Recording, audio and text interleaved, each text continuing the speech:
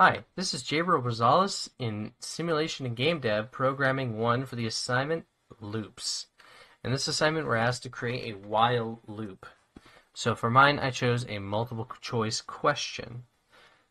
Uh, the question being what year was Doom released? A relevant question in video game history as many, many shooters were inspired or at least based a lot of their things off of the framework of Doom.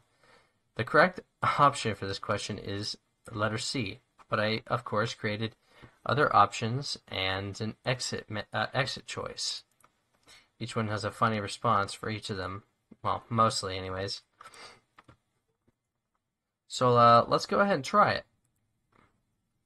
So let's do the quite my personal favorite. We'll choose the correct option, and then we'll quit.